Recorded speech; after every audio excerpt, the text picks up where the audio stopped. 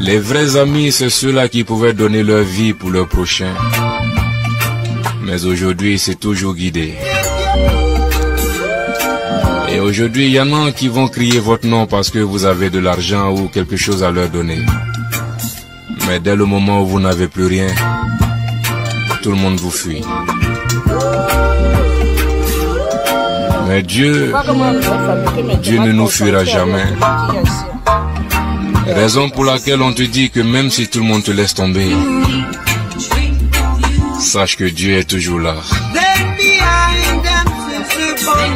Il y a aujourd'hui des gens qui avaient de la